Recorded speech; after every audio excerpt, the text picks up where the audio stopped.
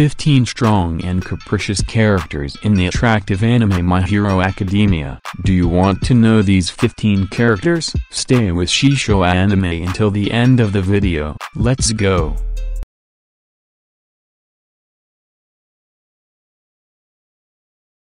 My Hero Academia is back for its sixth season and fans are excited about the action-packed episodes. The battle between heroes and villains has escalated into an all-out war, with both sides relying more on their physical strength and technique than their quirks. Quirks are the cornerstone of the future setting, and humanity's relationship with these supernatural gifts is complicated. Some characters rely mainly on their quirks to fight while others are physically fit and strong and only use their quirks as backup tools.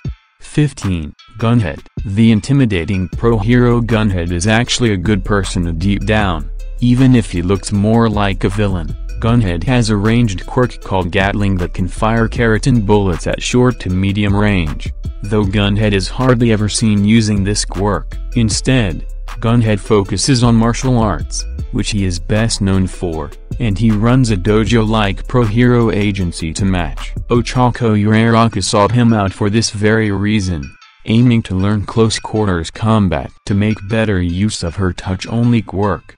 14. Toya Setsuno The minor villain Toya Setsuno is one of the eight bullets, or overhauls elite minions in the Shie Hassaikai crime family. Toya may not be on Muscular's level, but he's still a tough fighter who can beat down any opponent alongside his allies. Toya may be a tough street punk with killer instincts, but his larceny quirk is mediocre at best. While he can steal small items from afar, this quirk won't easily win him a fight. It won't even do anything against characters like Fumikage or Tenya Iida, who don't have anything for him to steal. 13. Rikido Sato The tall, polite Rikido Sato is a melee powerhouse, and he hardly needs his sugar rush quirk to bulk up and pummel villains and criminals into submission. He is a gentle giant who prefers baking and peace over combat but he's also a brave and confident fighter. Rikido's Sugar Rush ability can power him up even more,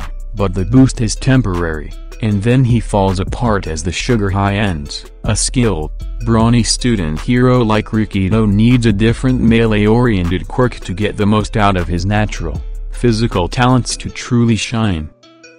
12. Spinner Spinner is a gecko-themed heteromorph and his quirk did far more to shape him as a person than as a fighter. Like many heteromorphs, Spinner faced a great deal of discrimination, which drove him to join the heroes so he would be accepted at last. Spinner is strong enough to be a major leader in the Paranormal Liberation Front, and he can even swing around oversized swords made of dozens of other weapons held together. That's impressive, but evidently, Spinner doesn't owe any of his strength to his gecko-themed quirk. 11. Mahogany Mahogany was one of the League of Villains' most brutal characters of all. The Wild, Wild Pussycats recognized her as a murderous criminal who can easily take lives just for fun, and even the formidable Tiger had a rough time facing Mahogany in single combat. Meanwhile, Mahogany's quirk, magnetism, has its uses but isn't Magne's primary asset. This quirk can draw people of the opposite sex together or repel same-sex people, but Mahogany was never seen putting this quirk to excellent use in the anime. Instead, Mahogany relies on her fists and killer instincts to get the job done. 10. Fourth Kind The suit-wearing pro-hero Fourth Kind didn't make a good impression in My Hero Academia's internship mini-arc. Fourth Kind had a hot temper and even hit Eijiro and Tetsutetsu on the head with his fists, and he only taught them to pick up litter in public spaces. Fourth Kind has four arms thanks to his quirk, but that's not saying much. He's clearly a strong fellow who takes fitness seriously, and against ordinary criminals. Having four fists is impressive, against more substantial foes, though, this four arms quirk is seriously underwhelming.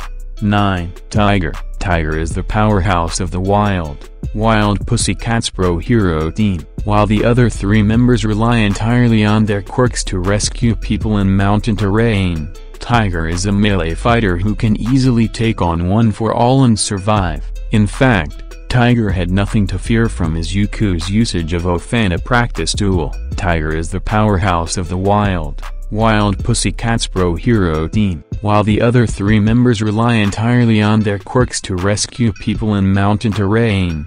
Tiger is a melee fighter who can easily take on one for all and survive. In fact, Tiger had nothing to fear from Izuku's usage of in practice tool. 8. Mirio Togata Mirio Togata, through sheer effort and experience, turned his bizarre permeation quirk into a serious asset, which is why he is, UA's number one student. On its own, though, permeation offers few advantages and is difficult to master, so Mirio struggled with it for quite some time. Permeation is a double-edged sword because while it makes Mirio intangible for defense's sake, it also shuts down his senses and makes him fall through both the floor and his clothing. However, Mirio had the grit and skills needed to hone his body into a weapon that can make better use of permeation.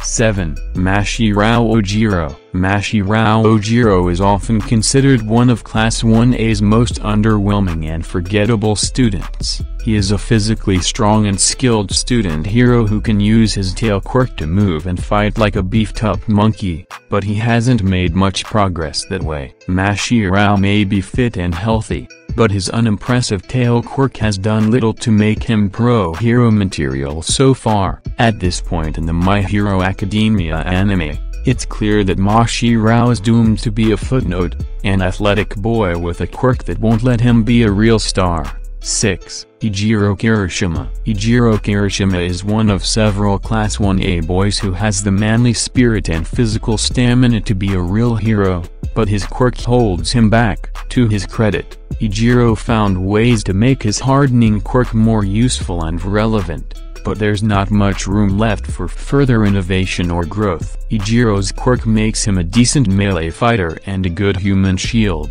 but this is only helpful in niche cases. In all the major fights, Eijiro's quirk is boring after all, and his physical toughness isn't enough for him to rival the likes of Itsuka Kendo, Izuku Midoriya, or Tenya Iida. 5. Gran Torino The elderly Gran Torino was one All Might's shonen mentors, and now he's Izuku Midoriya's best teacher. too.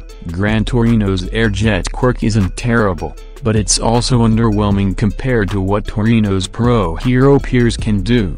Gran Torino's overall strength derives more from his advanced techniques and hands-on creativity and intelligence than sheer quirk power. His quirk is only mediocre, and its nature plays just a supporting role in what makes Gran Torino such a great hero. 4. Vlad King Class 1B's homeroom teacher is Vlad King, a tall, burly fellow with an excellent physique and a surprisingly underwhelming quirk. Vlad King's blood control quirk has its uses, such as restraining his foes with solidified blood, but it's a far cry from what other pro-heroes are doing. Blood control is less than half of Vlad King's combat power. His real strength is purely physical, with Vlad King being a terrifically strong, athletic pro-hero who can simply beat villains barehanded and restrain them until the police arrive to arrest them. 3. Itsuka Kendo Itsuka Kendo is Class 1B's representative, and she takes that role seriously as a big sister figure. She is a well-balanced student hero who is brave, mature, a skilled fighter, and a solid tactician who can take on Momo Yaoyorozu and win. Itsuka's quirk is Big Fist, which is exactly that, a quirk that makes her hands much bigger. With that quirk, she can grab people or pummel them, but it's still a basic physical enhancement quirk that has little room for improvement. Itsuka's real strength is her leadership and inspiring charisma.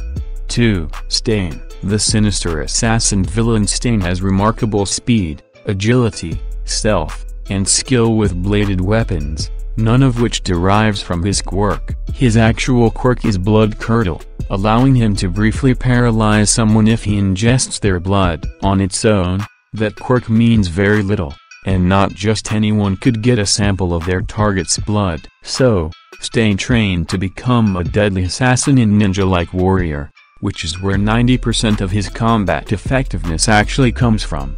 1. Kendo Rappa The muscle-bound villain Kendo Rappa is one of several My Hero Academia characters whose quirk is just a modest extension of what they can already do with their bodies. Kendo Rappa can use his strong arm quirk to deal rapid punches for a few seconds, and nothing more. Kendo Rappa would be almost as powerful in combat even if he were born quirkless and strong arm only gave him a minor boost when fighting Fat Gum in Season 4. He did put it to good use in that fight, but it was still an underwhelming quirk for a strong My Hero Academia villain. Thank you very much for being with me so far, be sure to subscribe so you don't miss the next interesting videos.